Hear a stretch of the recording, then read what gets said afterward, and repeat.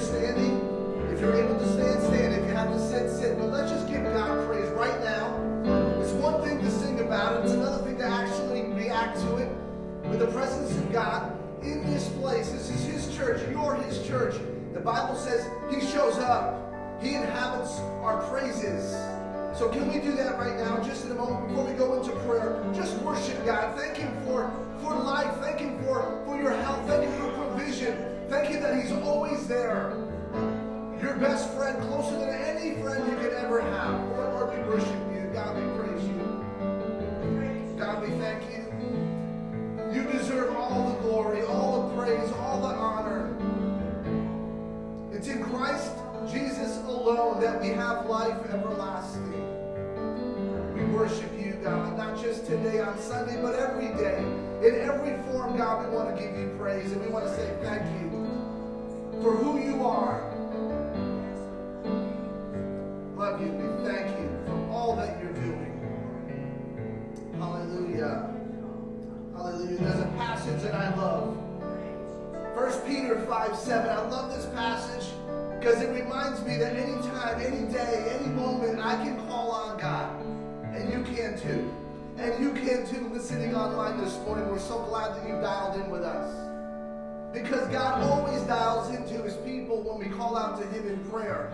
With faith, believing that God will do what he says he can do. The impossible. 1 Peter 5 7 says, Cast your cares on him because he cares for you. He cares about you. The New Living Translation, cast your worries and your concerns to God. Because he cares about you. You look around this room and maybe around your neighborhood and wherever you find yourself throughout the week and there are there are worries, there are anxiety, there's stress, there's all kinds of things around us. Maybe you're in that mode this morning and God says, man, just cast your cares on me this morning. Church, cast your cares on me because I care for you. I care about every little detail. That's how big God is. He sees every little detail.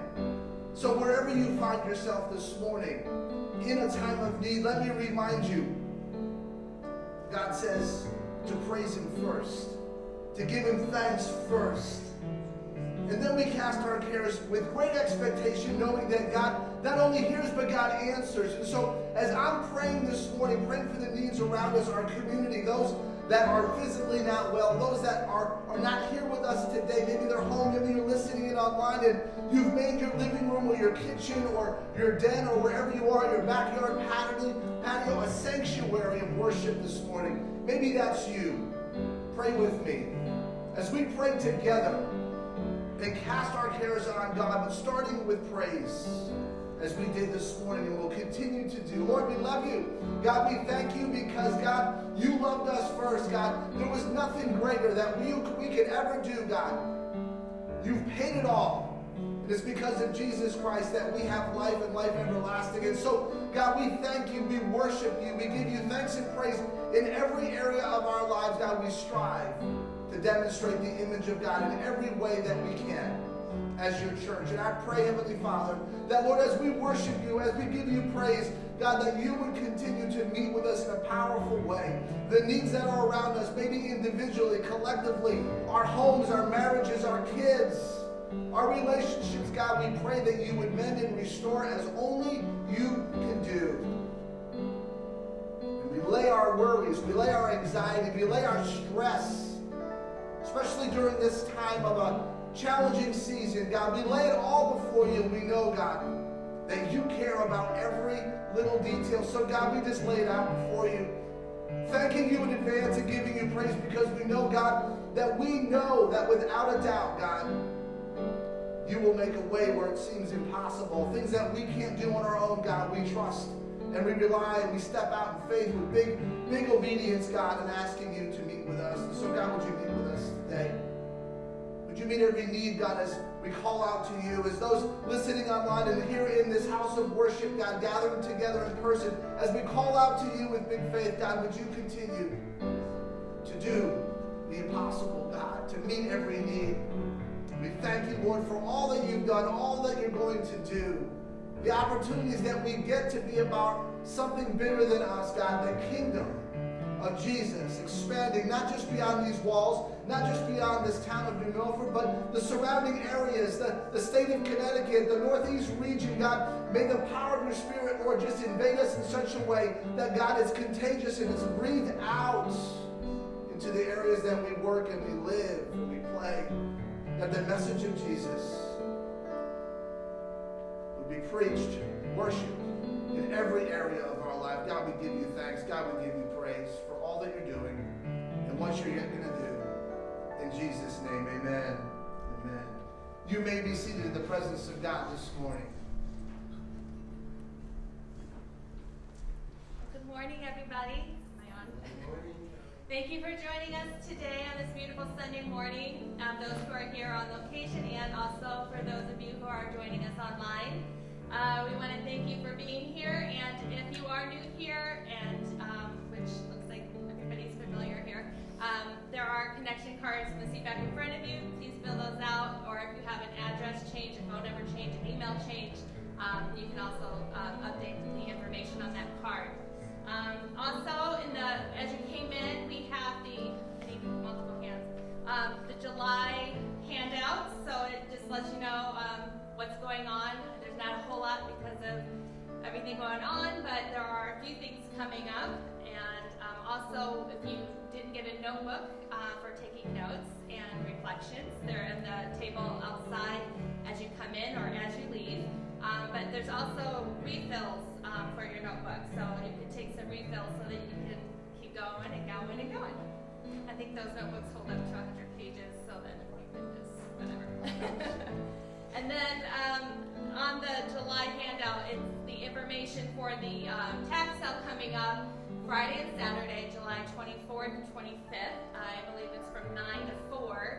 And if you um, want to volunteer on either one of those days or both of those days, we would love to help. And also, if you have more stuff that you have found laying around your house that you want to donate, um, please bring it. You can contact the church office for a good time to drop off. Um, usually Tuesdays and Thursdays are the best days to come drop it off, but um, you can make arrangements on Saturdays anytime so that we can get the stuff um, all gathered and ready to go. And uh, open house prayer is back up and ready on Thursdays. We did change the time, so there's a new time starting this Thursday. It's going to be from 2 o'clock to 7 o'clock. So for those that are working that can't make it um, before 5, um, you have no excuse. and also, if you're able to volunteer for a spot um, in a one hour time slot just to meet here um, to kind of facilitate open house prayer, um, you can see Mary. If you could raise your hand, Mary or Pat you, um, they will be more than happy to um, put you on the schedule. And let's see. Oh, and then we have prayer and praise cards in the back. Um, we use these on um, for open house prayer as well. If you do have a prayer request, you can fill out the blue card. If you have a praise report, you can fill out the green-ish card. Um, we'd love to hear what God is doing um, through the prayer report. So um, you can put them in the offering box up front or um, hand them to one of the hosts, um, either coming or going, and um, we'll get those going. And then I, I lost my notes. Hold on. Where am I? There I am. Speaking of the gift box, there uh, you can uh, put your uh, tithe and offering in the gift box, or you can give online or you can text give um, 860-500-1717. And there's easy ways to give there. And then all this information that I just said, if I just babbled in your ears, you can find it all on our website at newmilfordassembly.church. Sing one more time, you're worthy of it all. You are worthy.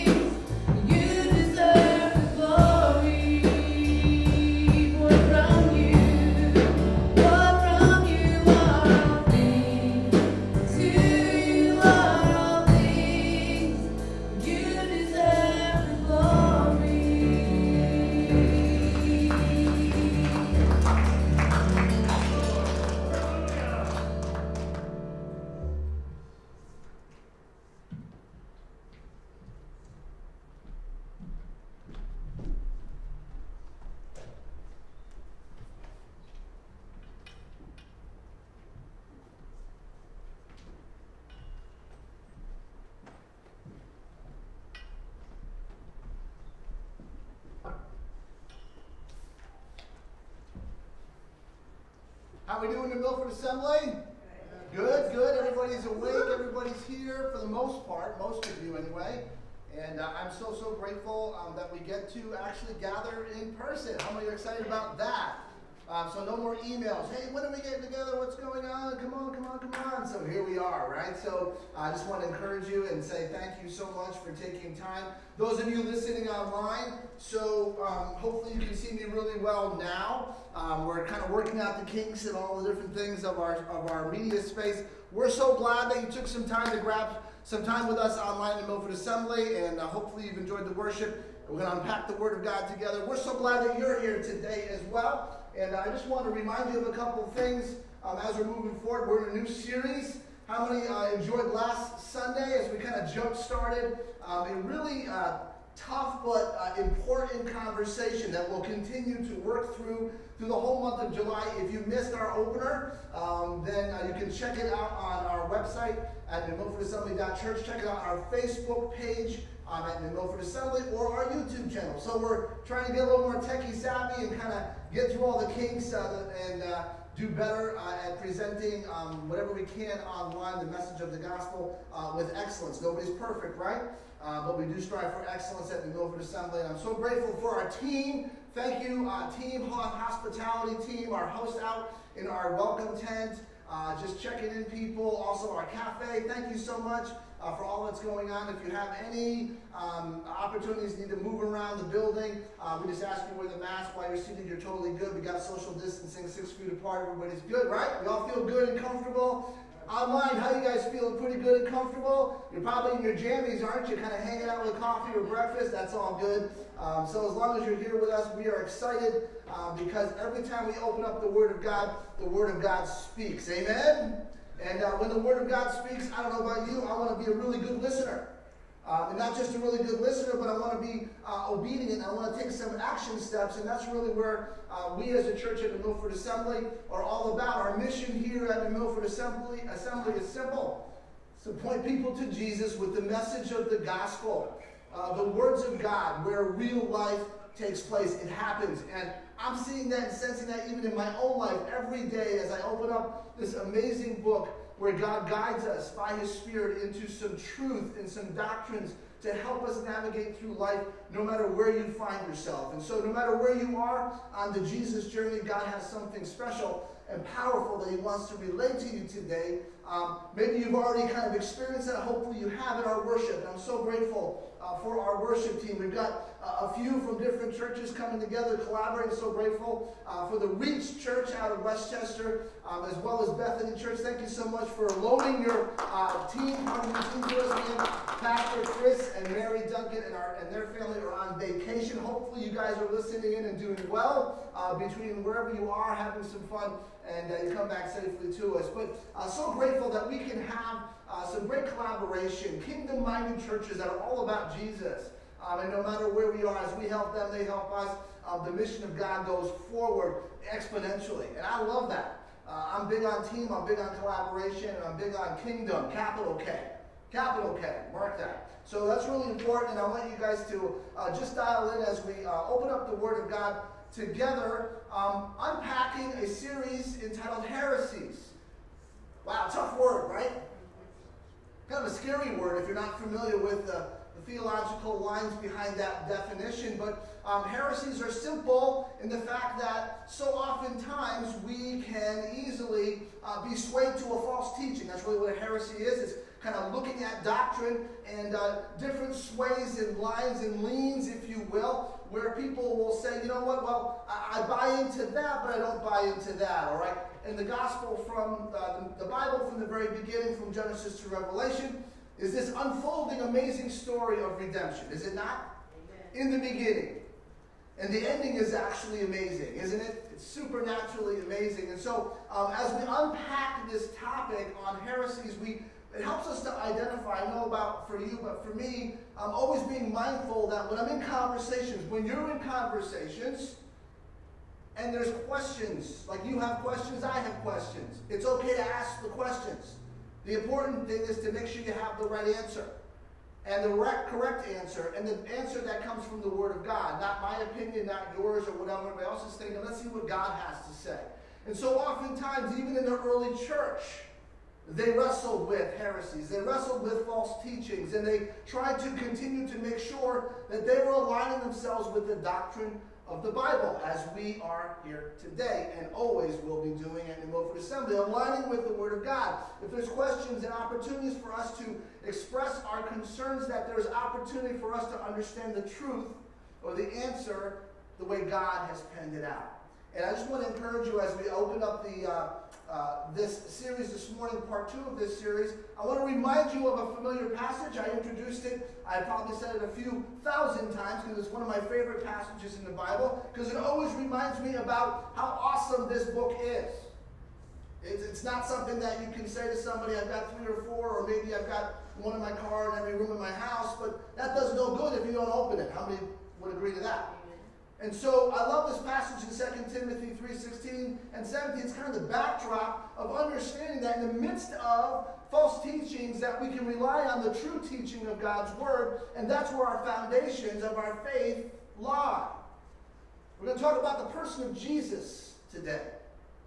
And it's so very, very important that as we look at that text in even 2 Timothy 3 16 and 17, it says, All scripture is God breathed and it is profitable for teaching, it's for reproof, for correction, and for training in righteousness, so that every man of God, every woman of God can be thoroughly equipped, prepared, ready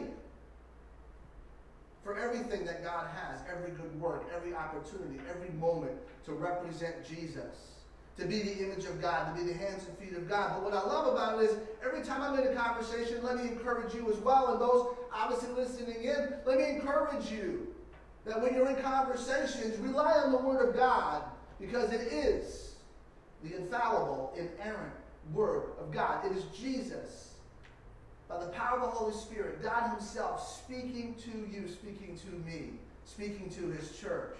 And I love that passage because so oftentimes, as we open up the Word of God, we begin to kind of see the bigger picture.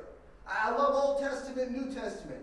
Maybe you've got a favorite. I don't know. I, I, love diving into the Old Testament and start seeing the unfolding of the redemption plan that God had from the very beginning as Old Testament, Old Covenant, if you will, complements the New Testament or New Covenant. And all of a sudden we begin to see the, the person of Jesus from the beginning that continues to the very end. And that's the conversation we're going to find ourselves here today is understanding who Jesus is. And maybe the fairer question for you, as I've asked myself, maybe even in conversations, who's Jesus? How do I see Jesus? What is my definition of Jesus? What is your definition of Jesus? You see, so oftentimes there are so many different uh, religions and so many different bends around the Word of God that see Jesus in so many different lights. Well, let me give you some clarification of who Jesus is through the Word of God. But have you ever asked yourself the question, who's Jesus? Have you ever asked yourself the question, who is Jesus to me? How can I describe Jesus? Think about that. Maybe you'll need to think about that throughout the day, just unpacking your relationship wherever you are in your faith in God through Jesus Christ. Maybe you're listening in and you don't have that faith. Well, let me encourage you today. As we unpack the truths of God, there is Jesus fully God, fully man, who loves you. And I think the more that we understand who Jesus really is, we begin to understand the heart of God. We begin to understand more the redemptive plan that God had from the very beginning, where Jesus was and continues to let his light shine as we shine his light in our lives. So, who is Jesus? In my travels as a, as a pastor and, and, and leadership and ministry over, over several years, I've had opportunities to, to dip into churches. I was a part of um, a couple documentaries regarding the church um, several years ago, and it gave me an opportunity to kind of just lean in on different churches and kind of see, hey, what's their mission statement? What's their vision statement? Like, where's their view of God? The person of Jesus. Well, we have our view of God as a spirit filled, Bible based Pentecostal church. And I have so many opportunities to walk into buildings and have conversations with pastors and church leaders. And at some level, I was somewhat surprised at the responses of who Jesus is. And, and it actually took me back a bit, kind of thinking through, like, that's it? A good teacher? That's it? A, a good man? Like, where do you, why do you stop there? Like, I think you missed a few passages of scripture that talk Jesus in a much broader brush, a much greater plan. And so oftentimes, the, the, those heresies or those false teachings, we see them and we read them, or maybe we're identifying with them in our world today, in our country today, maybe even in our community. And they creep into the church too, because the doctrines of the gospel of the Bible get swayed and get misunderstood and misinterpreted. And as a result, we have these heresies leaking and infiltrating in. We attended a church visiting one Sunday, my wife and I, and I won't tell you where the church was other than the fact that it was in the northeast area, and uh, we were visiting churches and just kind of feeling and sensing the heartbeat of God and seeing what was happening and where we were uh, aligning with uh, what we believe God was calling and is calling us to do in the Northeast. And we entered into a church and we began to sit down. And as we sat down immediately, I did not feel comfortable. You know, when you walk into a place, sometimes you just feel like this doesn't feel right. I'm so glad that when we come into the presence of God at New Milford Assembly, it feels right. It feels awesome. Why? Because we are all about Jesus, man. We're all about worshiping the risen King Jesus. We're all about unpacking the truth. We walked into this church and we sat down in the back and we began to kind of just listen. There really wasn't much of a worship. It turned into a kind of a Q&A really quickly. It was the weirdest thing I've ever experienced. And I've been in many churches. And through certain conversations, the minister that was uh, at this church um, was kind of moving around um, a handful of people that happened to be at the church that Sunday, and he began to ask them questions. And I thought, oh, okay, maybe this is kind of like their agenda. Let's see where this goes. And the more the questions started happening, the more it started to surround the, the, the idea or the identity or the message or the person of Jesus. I thought, ooh, this is going to be really good. We're going to find out really quick where this church aligns. And we were very, very disappointed, I got to tell you. Because that Q&A turned into his opinion, her opinion, his thoughts based on where they are rather than what the Word of God was saying. It got really, really ugly fast. And my wife did everything she possibly could to hold me down. And a couple of conversations and questions were ensued to the point where answers were surfacing as this minister was talking about the person of Jesus. And someone had said, a young teenage kid had actually said, Well, I believe that Jesus um, probably sinned. And I thought, boy, hopefully this guy is going to handle this one pretty good. I mean, where do you want to start? And the answer was, well, that might be true. I was like, ooh, what? My wife holding me down by all points. Talking through that, I, I uh, listened and I saw a couple chime in, and they were sitting in there, they were talking about the person of Jesus in their life. Good person, decent teacher. I know of him. See, totally disconnect, disconnecting from what the Word of God was saying. Tragic, so much so that uh, just the way I felt, the way we felt, we got to a point where we were just like, you know what, I think it's time to go. I think it's time to go. And we did. We dismissed ourselves very, very quickly. I've been in some churches when you walk in the door and you just know that you know you're in the right place, like New Milford Assembly. You know that you know that there's a presence of God. You know that the people of God are all about Jesus. They're all about worshiping the Almighty, one true God, maker of heaven and earth, and the person of Jesus, fully God, fully man. But that's not always the case, is it? It's not always the case when you're in conversations maybe with your coworker or maybe a family member or maybe you're just walking around the community or we're doing an outreach and we're having those conversations and we're giving them the love of Jesus with grace and with truth. So you can't just give them love. Hey, I love you as God loves you. You've got to give them the truth of the gospel message of Jesus. Because it's right there when you begin to see who Jesus really is. And so I ask you again the question, and maybe that's a question for you to answer today before you leave, or maybe throughout the week. Begin to identify the characteristics of Jesus in your own life. How do I see Jesus? How do you see Jesus? Is he my Savior? Is he my Lord? Has he come for a purpose to bring salvation? Yes, yes, yes, yes. Or is he just a good person? Or is he just someone that I read about? Let me encourage you today as we unpack this text. The person of Jesus, sent by God, God incarnate, fully God, fully man. But so oftentimes, we see different lenses and threads where it is contrary to the Word of God. You know, the early church wrestled with this right out of the gate. The early church began to wrestle with the idea that Jesus was considered first and the greatest being by God, not God, maybe a lesser God. It was a threat of what's called Arianism. This idea that he was a created being. He was the first in created being. And the early church began to have a tug of war, like, wait a second, let's get back to the Bible. Like, let's write it down. Remember, the early church was like, hey, man, what a great opportunity to get our doctrines right through the Word of God, like we do today. We have our values, our core beliefs, and we stick to them. Why? Because it's the Word of God.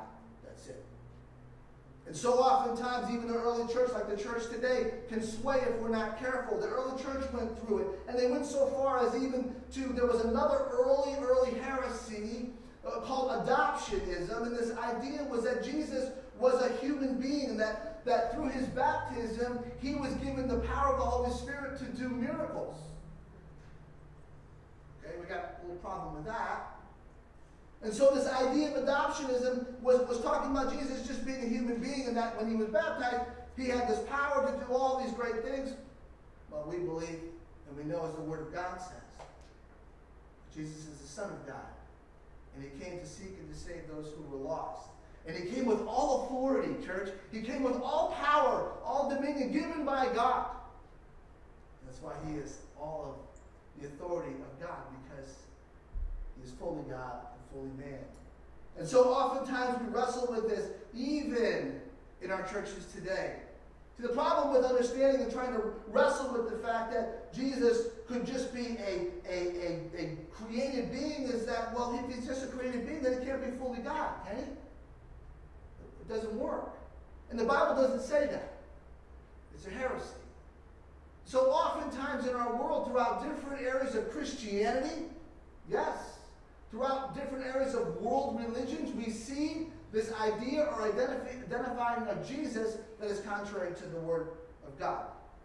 I want to unpack some text in John chapter 1. I want us to see a couple of things that I want to draw your attention to because it's so, so very, very important as we look at the scriptures that tell us who Jesus is, the character of Jesus that we can begin to understand and answer the questions for ourselves is Jesus who he says he is in the Bible in my life? And I am I living that in my life so others can see Jesus as who he really is, according to the Bible. John 1, chapter 1, verses 1, actually verses 1 through 5. I want to read this because it really unfolds the understanding of Jesus being fully God. John's writing this gospel. I love this gospel of John. He writes this gospel of John, encouraging um, us in our faith of who Jesus is as the Son of God. And what I love about the Gospel of John is that the Gospel of John spends more time than any other Gospels understanding the personhood and the essence of Jesus. Take some time to read through the Gospel of John. You'll get an eye opening experience of who Jesus really is according to the Bible. And then you can ask yourself, how close am I in my walk with Jesus to identify the person of Jesus of the Bible that aligns with my faith, where I can say, I know without a doubt, according to the Word of God, according to my faith, that Jesus is the Son of God. He is fully God, He is fully man. John chapter 1, verses 1 through 5 says this In the beginning was the Word, and the Word was with God, and the Word was God. Well, I guess that's enough said right there. We could probably go home, couldn't we? But I want to continue to read, don't you? He was in the beginning with God, He was there. Jesus was there. All things were made through him, and without him was not anything made that was made. Verse 4. In him was life, and the life was the light of men. The light shines in the darkness, and the darkness has not overcome it. Matthew just, right out of the gate, jumps out and says, Hey, let's just clarify a few things. All scripture is God breathed, right? So God is putting the pen in Matthew's hand and he's saying, Let me remind you who Jesus is from the very beginning. Church, let me remind you who Jesus is from the very beginning. Genesis 1 in the beginning. Matthew 1 in the beginning. Jesus was there in the very beginning. Jesus was fully God in the very beginning. He showed up. Jesus was pre existent with God before creation. There was an eternal fellowship with God out of the gate. Why? Because that's what the Bible says. And if the Bible says it, I'm on to it. Are you? We're on to it. He was there from the very beginning. In other words, Jesus was divine. He was there from the very beginning. He's considered the Word. And the Word was God. And the Word was with God. That's Jesus. I don't know how else you could argue that case from any which angle. In the beginning was the Word, Jesus, and the Word was with God, and the Word was God. See, Jesus was not created, uh, uh, was not created and is eternal and, and has always been there with the Father. He wasn't created, he's eternal. He's pre-existent with God from the very beginning. So oftentimes you'll have conversations like I have, and you'll wrestle with different thoughts and different uh, religions and, and cults, if you will, and these ideas is, is far from Scripture. Or they take parts of it and say, I'm going to buy into that, but for my understanding, for my organization, for my agenda, I'm going to stop there I'm going to begin to turn it. That's false teaching. That's heresy. And we need to be careful how we represent and how we present Jesus to the world who needs him. Because without Jesus, we're in trouble.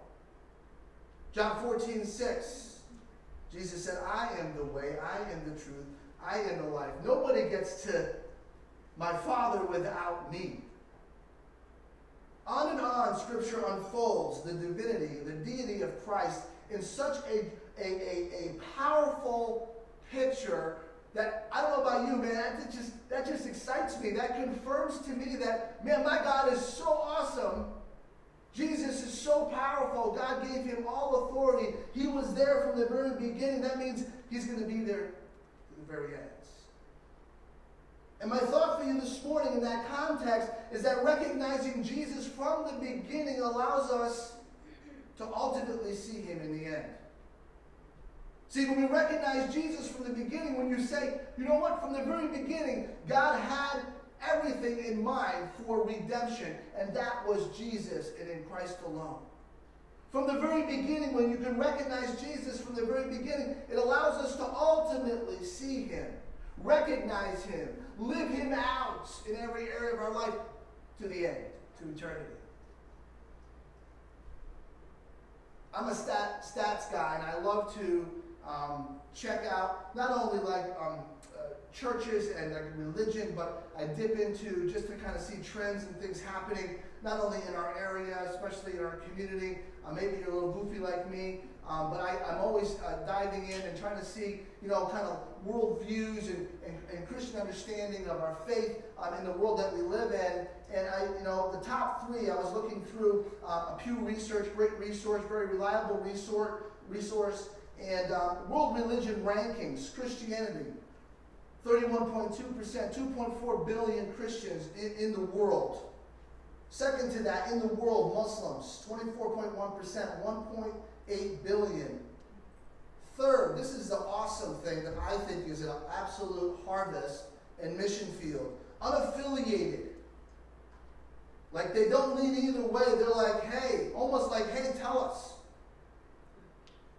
16%, 1.2 billion people in our world basically have no affiliation to religion. They, they're like, I don't know. Somebody tell me. Tell me the truth. Somebody tell me the truth. I don't know about you, but as a pastor, as a follower of Jesus, that's a mission field right there. And you might have that mission field across your street. You might have that mission field right across the cubicle maybe you work when we get back to working um, in public spaces at times. But you might have that mission field right there. That mission field might be across your kitchen table. I don't know. But we've got to give them the truths of Jesus. Fully God, fully man. See, Christianity in the U.S., 70, a little over 70%, 70.6% Christians in America. Of that, now Christianity is a broad brush. Many people say, oh, I'm a Christian, I'm a Christian. Oh, you're a Christian, I'm a Christian. Well, here's the bigger question Who's Jesus? To me, that's the bigger question. Because if 70% of the people in America are Christians, then I don't think, and they were literally Christians, like followers of Jesus, I don't think we'd be in the mess we're in. I just don't think we'd be in the mess we're in. I, I, I think, quite frankly, like if you really call yourself a Christian, see, there are a lot of Christians. 70.6% Christians in America. Of the 70.6%, 46, almost 47 are Protestant. Okay, Protestant, let's trickle that down just a little bit. There's all kinds of Protestants, there's all kinds of denominations, 60 different denominations in, in America, just in America. Why? I'll tell you why. Because they have a different view. Many of them have a different view and a perspective of who Jesus is. There's a difference between being a Christian. I've said this before and I'll say it again. And I preach it to myself. Trust me. I preach it to myself. There are, there's a difference between being a Christian or a follower of Jesus. There just is. Because if 70.6% of the people in America are Christians, my question is give me your description of Jesus. Give me your character or the essence of Jesus to you. Because if Jesus to you is the Jesus of the Bible, then we're going to be in great shape. But that's not the case. 46.6% of that 70% are Protestants, 20.8% Catholics, 1.8% Mormon, non religious, mission field. Who's Jesus? Mission field, non religious, like nones. Like, I don't want any affiliation with anything. Why? Because they don't know the truth. They don't know the doctrines of the Word of God. They don't know Jesus the way we know Jesus.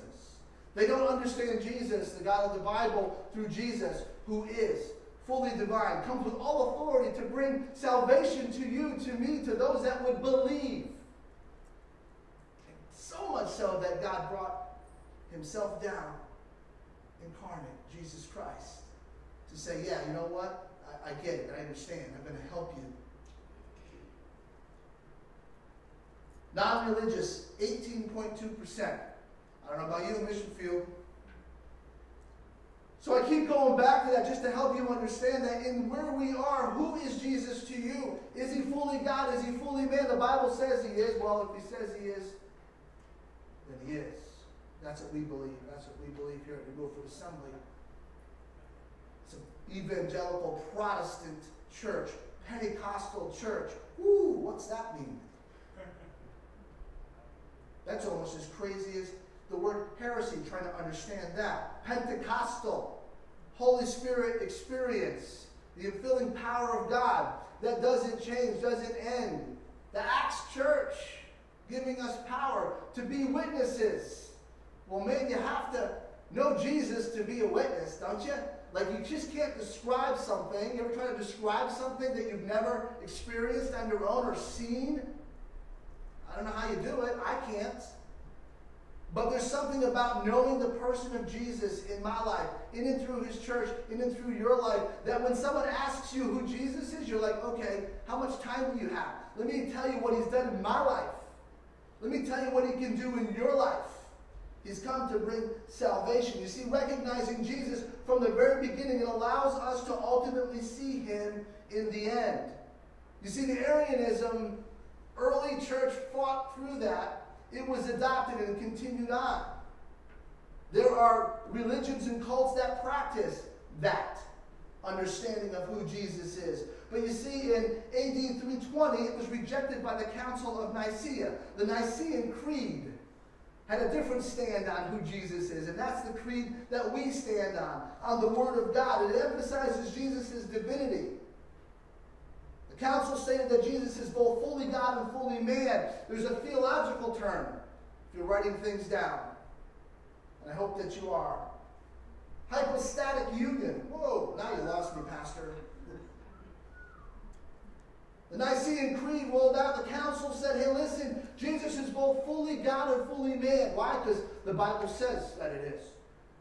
And if you choose to believe it, which we do, and we live that out in our faith, which we do, we begin to understand that God is both, uh, Jesus is both fully God and fully man. There's this hypostatic union, there's this connection that he can be both, and he is.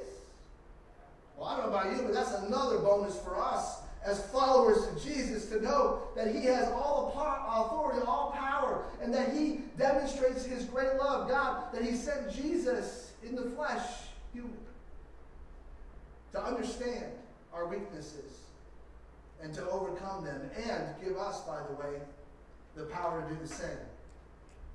That's a win win. That's a win win, church. But here we go. Who's Jesus to you? I'm going to ask that question. I want to encourage you with some take home homework. Like, ask yourself who Jesus is. Wrestle with the fact who Jesus is, but wrestle with it in the Word of God. Wrestle with it with the doctrines and truths of the Bible. And you'll begin to understand, not just understand, you'll begin to experience that for yourself in more powerful ways. You see, Jesus is with you to the very beginning, and He remains with you to the very end. He has all authority, all power given by God to make all things new in your life. Because Jesus is divine. He's fully God, and God has given him all authority to help you, to restore you back to relationship with him. You might be sitting in this room and kind of saying, you know, understand my relationships are horrible. I've got some, some things I've got to sift through. And, and this whole God thing, well, I'll get to God in a minute. Through Jesus, I've got other things to navigate through. Well, God says, why don't you start with me in the person of Jesus, and then I'm going to help you fix all the other relationships that you have. That's kind of how it works. But you know what we do? We say, hey, you know what? Um, no, I can't go to church right now. I can't get involved. I can't. I can't even grab this book. I'm almost too afraid to um, because I got all this baggage. And God says, well, cast your cares on me because I care about you, and I've got the best answer you could ever look for in, in this world. It's Jesus. But you have to believe. You've got to give me the opportunity to reveal myself in the deity from God that comes in the power God, that's through Jesus Christ. John, 1 John 4 15 says it this way Whoever confesses that Jesus is the Son of God abides in him, and he in God. There's this fellowship, there's this, there's this supernatural, there is this fellowship that we get to have with God because we recognize Jesus in the divine. We recognize Jesus and the connection that he has with his Father that now we get to have. Uh, if you confess, if you believe. And my encouragement for you today in this room and online is that you would recognize who Jesus is in the power and the presence and the power of his word, and you would say yes to Jesus because saying yes to Jesus is saying, I know full well that God loves me so much that he sent Jesus with all authority help me restore my brokenness. He's the only one that can do that. There's all kinds of self help books and organizations. I've seen them, you've seen them. I've talked with people that have gone through them. I said, why don't you just pick up this one? This is the best book you'll ever pick up. It's the greatest book you ever pick up. Why? Because all scripture is God breathed out of God. And if God's speaking, I want in. Don't you? I mean, don't you want in? I mean, who wouldn't? Get into the Word of God. When you get into the Word of God, you get into the heart of God. And you begin to see Jesus in a completely different way. Not just a Sunday God. Don't make him a Sunday God. Make him an everyday God. And that's the person of Jesus. He wants to be with you every single day, no matter what you find yourself in. Those verses 6, 7, and 8 kind of is this pause. And so John is wa- walking through this and, he, and, he, and, he's, and he, he, he writes out this idea that there was a man from God sent. And so John is this messenger and he's announcing the arrival of Jesus. Let me encourage you today. You're a messenger. You're a witness. And we need to announce the arrival of Jesus, but that has to be demonstrated through our lives. Don't you agree? I mean, you have to be living that out. You have to be like saying, hey, listen, he's on his way. Are you ready? And that's what John was telling them. Hey, listen, um, it's not me, it's, it's Jesus. The light is coming. But on to verse 9, we see this, this idea of the arrival of Jesus. Jesus as human in humanity. And verses 9 to 14 says this The true light, John speaking, the true light which gives light to everyone was coming into the world. He was in the world, and the world was made through him, yet the world did not know him. He came to his own, and his own people did not receive him. Could you imagine? Here comes Jesus. People didn't recognize him, just like they don't today. They don't recognize him. Sometimes we don't recognize him because we're too busy. We're too preoccupied with the noises and things around us. Even the early church, so oftentimes in the Word of God being breathed out, reminds us be careful. He came to his own, his own people did not even receive him. But to all, I love this, all who received him, who believed in his name, he gave the right to become children of God. That's relationship. That's good relationship. That's true relationship. Who were born not of blood, not of the will of the flesh or of the will of men, but of God. That's the only way. He was born of God. So you know full well there's a relationship kindling from the very beginning where Jesus was, and that relationship begins to unfold Old Testament to New Testament, and here he comes. And he wants relationship with you. He wants relationship. Not of any other way, not of the flesh or of the blood or of anything, but of God. Power, Spirit of God. And the Word, verse 14, became flesh. I don't know how you can argue. Jesus cannot be fully God and fully man. Verse 14, and the Word of God became flesh and dwelt among us. And we have seen his glory, glory as the only Son from the Father, full of grace and truth. You see, Jesus has come in the human flesh to bring the light of salvation to you and to me. He showed up. That's how much God loves you. He loves you so much that he personally came down, said, I want to be with you. I want relationship with you. I've been there. I've done it. I want to help you. I want to give you the power that God has given me, the, the, the, supernatural awakening presence of God to do all the things God's called me to do and to restore relationship back to God. See, Jesus was, he was in the world. He was, he, and he was created through God, yet many did not recognize him. And those who believed him, the Bible says, they received forgiveness, they received restoration. And that's where we are today. We have the opportunity because God loves us so much that he sent Jesus in the person, personally for you and for me, for relationship, to restore, and to bring salvation to everyone who would believe. Do you believe? Are you in a position where you can begin to see and sense Jesus, maybe in a different light this morning. Maybe as you're listening, those of you online, you're beginning to kind of see, hopefully, a broader picture of the power and presence of Jesus as fully God and fully man. All authority, all power. I look no further, do you? And understand the power and presence of God through Jesus Christ. I love that because it talks of relationship. And when God the Father comes, as he did through the person of Jesus in the flesh. Man, does that display an amazing love. That no matter what you're going through, no matter what you're facing now and maybe into the week, our Heavenly Father reaches down, He comes down and He abides with you as you abide with Him. He spends time with you. I remember as a kid, and my brother Pete will probably remember the same thing. We took a family vacation. Um, not so much right now with all this craziness going on. Um, we're obviously a little older now, but I remember as kids we took this really cool vacation, Colorado. We went out to to, uh, to Denver, Colorado, and I want to say we were going to Wally World, but we were far from it. We weren't going to an amusement park. I wish we were. So we packed up the family truckster, little blue paneled 19, I think it was like a 78 or whatever it was, uh, station wagon. Looked just like the Griswolds, but it was blue. We packed up that thing to the teeth. Me, my mom, my dad, my two brothers. We threw a mattress in the back. We slept in the back. We thought we had a camper that was just luxurious. And off to Colorado we went from Connecticut. But not to amusement park. We were going to a church conference. Woohoo! Yes! Hallelujah! We were going to a church conference, and every time we would go somewhere, growing up in a, preacher's home, it was like my parents were always like, "Hey, we're going to take the weekend and we're going to go away." We're like, "Okay, what conference are we going to?" Well, it's going to be a great hometown. They got a pool. I'm like, "Okay, cool." So that's what we would do. That was always the catch for us PKs.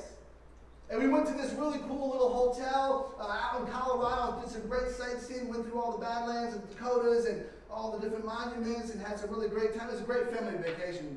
Um, and we had an awesome time. But was, we were heading to a national conference uh, for our for churches, and so um, as as we were there, we were hanging out in a hotel, and and we were just relaxing and enjoying some time. And my brother and I were just goofing around the pool. Pete and I were goofing around. My brother Steve, he's usually a sun god. He kind of lays out and we'll just leave him alone. He's fine, right? So my brother and I were goofing around around the pool, and we are little daredevils. And so we decided, hey, you know what? Let's just kind of trump the ante. The cannonball got so old, so let's start doing some can openers, and let's start diving a little further out. And let's, hey, why don't we try flipping? That's really cool around a concrete in-ground pool. That's awesome. Let's figure that out. That's really fun. So we did. So we started kind of goofing around the pool and we're running around and my dad and mom were kind of relaxing, laying out. But my dad always had an eye on us the whole time. My father was always checking us out because he knew we were a little crazy. So he kind of had one eye open, one eye closed, and, and so we're goofing around. And so me and my brother, he, know, I think Pete started the whole thing. He wanted to start flipping off the corner, and now he's daring me. That's usually what happens even to this day. Like, hey, I'll do it if you do it. So here we are as kids, and we're jumping off the side of this pool, in-ground pool, concrete, know, no safety, really. The signs weren't even there at that time, like whatever. So we're just jumping in and out of the pool, and so we started trying to trump each other. How far out? How, how many trips, flips can you do? And so, well, he's going crazy, so I have to follow up. I can't wimp out. So I jump off and I do this crazy flip, and I try, well, I didn't jump far enough out, and so I hit my head on the corner of the pool, concrete, yeah, and so when I hit my head in the concrete pool, it kind of knocked me out. Like I'm like an eight-year-old kid, eight, nine years old. Knocked me out. I hit the water, and, and thank God my brother Pete was there, and he was kind of like, you know, uh, you know, Dave Hasselhoff Baywatch. What do I do? You know, he's ready to come in after me. But my father was was laid down, one eye open, one eye closed, and between my, my brother and my dad, by the time I got maybe halfway down to the bottom of the pool, knocked out, just a weird feeling like I'm trying to move and I can't move. You get unconscious. It hit me so hard, open gash in my head, still have the scar to prove it. I'm sinking and I, and I, and I can't gather myself together. Well, my father, my brother jumps in, he's looking around. My dad just dove in, grabbed me, pulled me all the way up, got me out of the pool. I got blood all over the place, and I'm a little freaked out. We're all a little freaked out. But I was alive. I was okay. Why? Because my father came to my rescue with the help of my brother. But my father came to my rescue, and as I as I began to kind of just kind of recover, we went to the hospital, got a few stitches, hair, all this kind of stuff tied together with just big gash. Um, I began to realize I was so thankful. I mean, that could have been it for me. I was so thankful that I had my dad watching out for me and my brother. You see, it's so awesome when we know that we have our Heavenly Father watching out for you. That when you fall, when you trip, when you bang your head, when you get bruised, when you get beaten, when you get ridiculed, God is there. And He's ready to pull you up and pick you up and restore you and help you. That's our God. And He came in the form of Jesus in the flesh to be right by your side, to be right by my side. Because he loves you. He loves you. And no matter where you find yourself today, maybe you're, you're feeling that you're in that pool and you're trying to find the surface and you feel that you're drowning in all of the anxiety and stress and fear. God is right there. And He wants to pull you up and restore you because He loves you and He cares for you. He cares for you. Hebrews 4:15 says it this way, "For we do not have a high priest who is unable to sympathize with our weakness, but one who in every respect has been tempted as we have, yet without sin." He understands. Remember when Jesus was tempted in the wilderness and the Spirit of God led him there? It's another conversation when we talk about the Trinity. Another word, woo, we'll get to that in a couple weeks. But in Matthew's Gospel, chapter 4, those first few verses in the Gospel, we see this unfolding of Jesus being tempted. He's led out into the wilderness. He's fasted 40 days. Good idea, by the way. He's fasted 40 days, and all of a sudden Satan comes to him and he's like, hey, let me throw a few things by you. Why don't you turn these stones into bread? Think you can do it? What was Jesus' response? Man shall not live by bread alone, but by every word comes out of his mouth. Satan said, Well, oh, oh, okay, well, hey, why don't we go up on the top of the, the temple here and why don't you just launch yourself off it? Those angels will save you, won't they? Jesus again, what did he do? He picked up scripture. He said, Don't test God. How dare you test God? Satan got a little frustrated. Hey, let me remind you look around you. Look at all the worldly things around you. Look at all the kingdoms. Hey, I can give all this to you. Jesus is like, Are you kidding me? Are you kidding me? I'm going to worship God and Him alone. And he refuted the enemy with the Word of God. Church, when the enemy comes in like a flood, you grab the Word of God. And you begin to realize the person of Jesus fully God, with all authority, all power, to refute anything the enemy brings your way. And this is where it is. And God will give you his power and his strength to restore you and to fight against anything that the enemy tries to do, to make you think or sway you to believe Jesus is anything other than what the Bible says, fully God and fully man. You see, recognizing Jesus from the beginning, it, it gives us hope. It gives you hope to see him eternally. It gives you hope. It gives me hope. When we recognize Jesus from the very beginning, because he was there from the very beginning and He'll be there in the very end. And He's with you all the way through. Welcoming Jesus in right relationship, see, it removes the wrongs as His power restores you. It removes those wrongs. When you're in a right relationship with Jesus, it removes the wrongs, and then there's this restoration process. That's why Jesus came. That's why Jesus came. So oftentimes, we can be swayed by false teaching. So oftentimes, we can be distracted. And when that happens, we run to the Word of God. Run to the Word of God. Spend time in His Word. Spend time in prayer. Spend time in community as His church. When one's down, we're all down, by the way. When I hear that someone's hurting, or there's a, a family struggling, or there's a marriage on the break, or there's students that are trying to figure out what's next in their relationship, when there's an individual just kind of feeling isolated and alone, especially now, man, we're all down. We're going to rally together, and we do, to pray and call on God, to open up the Word of God and say, oh, Who's Jesus to you? What's your definition of Jesus? Church, what's your definition of Jesus? Is he truly fully God and fully man in your life where you know without a doubt, according to God's word, He has all power, all authority to restore you, to make you well, to help you no matter what you're going through. Don't leave here today. Don't stop that recording till you understand who Jesus really is, according to the Bible fully God, fully man, ready to restore, ready to heal, ready to help, I close with a takeaway in the Word of God. In Colossians chapter 2, 9 and 10, I love this New Living Translation. It literally sums up the entire text that I believe that God has put out in front of us to absorb and to live out. And it says, For in Christ lives all the fullness of God in human body. So you also are complete. Pause. You're complete. You're complete. Christ lives in the fullness of God in a human body. There's a power and presence of God through Jesus Christ, and it makes you complete through your union with Christ, who is the head over every ruler and authority. Head over every ruler and authority. Head over every problem. Head over every circumstance. Head over every anxiety, every fear, every setback, every disappointment. He's head over it. Church, who's Jesus to you?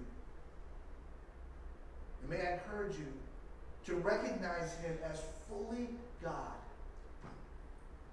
In all his divinity, in all of his power, in all of his splendor, and recognize him as fully human because he came down in the person of Jesus to love you, to have relationship with you, to know full well who Jesus is.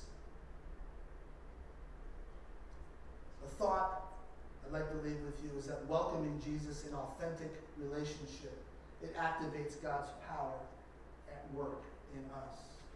It activates God's power at work in us. See, when we recognize Jesus from the beginning, it allows us to ultimately see him in the end. And when we welcome him in relationship as he has come down in humanness, we welcome Jesus in authentic relationship. And man, I don't know about you, but it activates the power and presence of God to work in and through our lives to restore us for even greater. May you be encouraged this morning and be reminded of the power and presence of God through Jesus and Him alone who brings life and life everlasting. Let's pray together.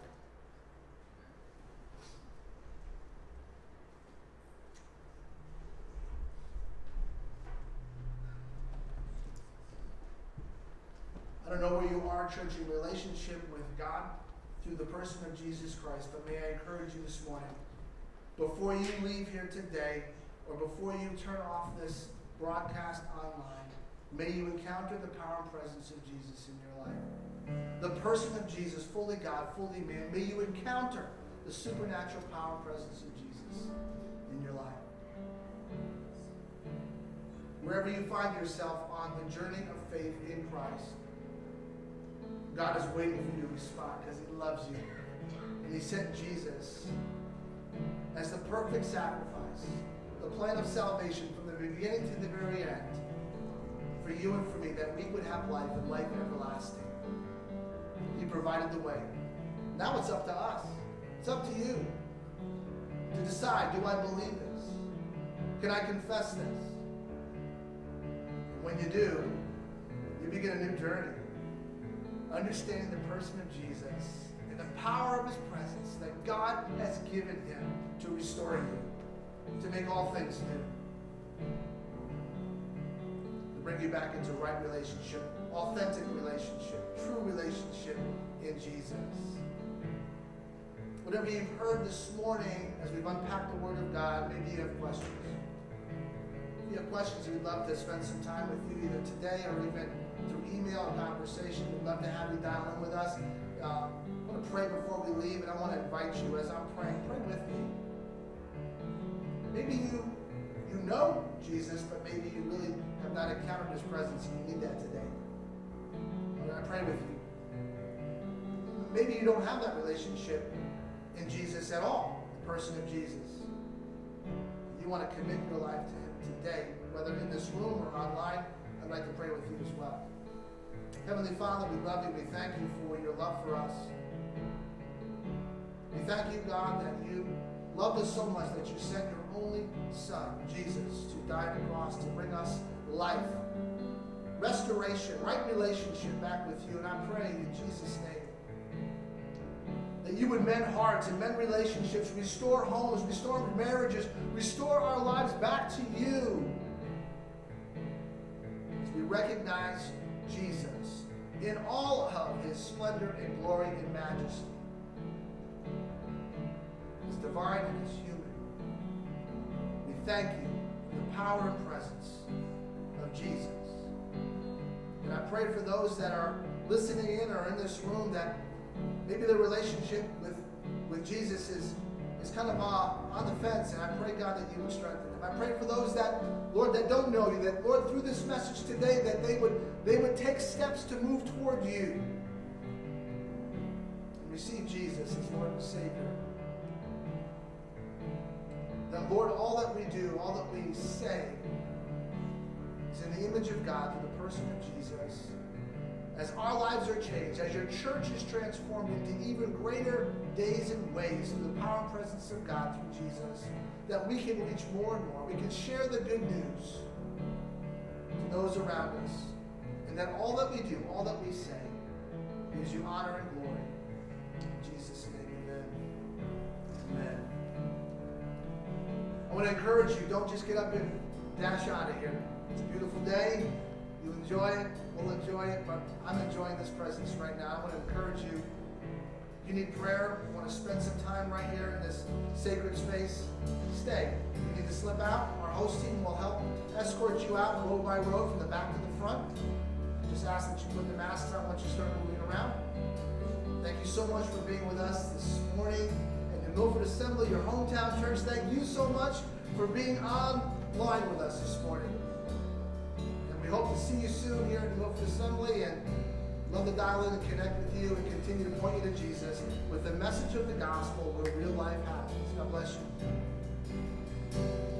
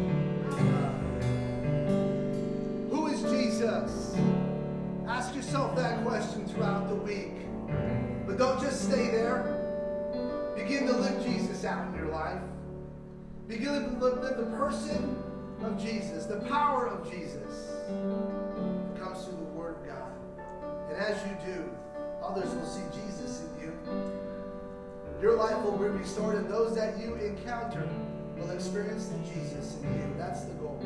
To point people to Jesus with the message of the gospel. Man, where real life happens. Experience real life this week in Jesus. God bless you. Have a blessed week. We'll see you back next week as we continue our series uh, on location and online. Go in the grace of God.